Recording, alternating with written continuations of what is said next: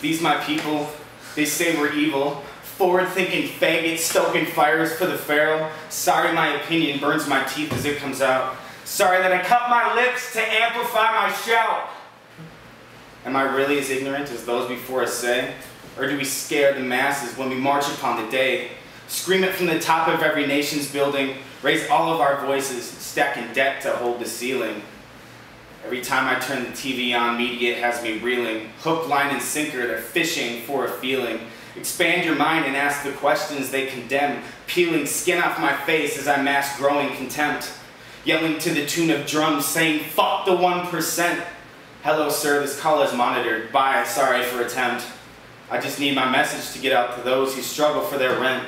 Staying in a tent is fine when you pack it in a car, but sleeping under overpasses trying to gaze at the stars while pollution from their ego has me hiding in the bars only burdens my emotions, softly stomping to the music.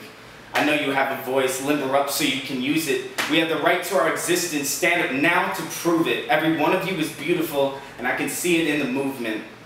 Questions need to be asked before we know the answer. Answer question for the knowledge, educational cancer. Opinions ride the wave of expression by the ladder. Higher up the ladder, enlightened Mattis Hatter. Oppression hides itself, feelings hidden in beliefs. Bullets from my sheriff ricochet down the street. My chest in pain is fighting existential relief. I crawl to the next of kin, lighting torches as I dim.